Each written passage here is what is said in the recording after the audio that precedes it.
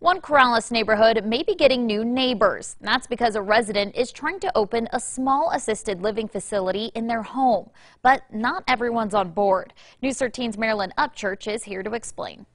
Some in the village of Corrales say they're concerned about the possible new facility, but the owner of the home says she hopes those around her will trust her to follow the rules.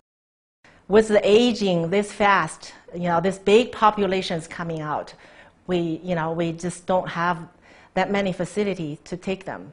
And uh, people can live longer, you know, in assisted living, but people look, you know, look after them.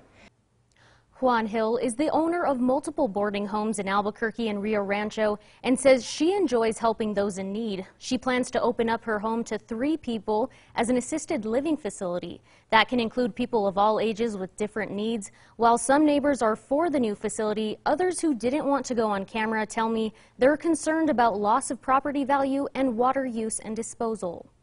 I hope, you know, this community realize it and everybody have an open heart to do something for those people who need our help.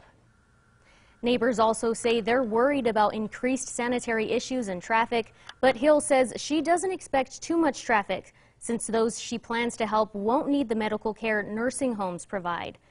Hill applied for a home occupation permit, which requires a public hearing. The public hearing for Hill's new facility will be on Wednesday. Back to you. Okay, Marilyn. Now, Planning and Zoning says in the last five years, there's only been one other group home application within a residential area.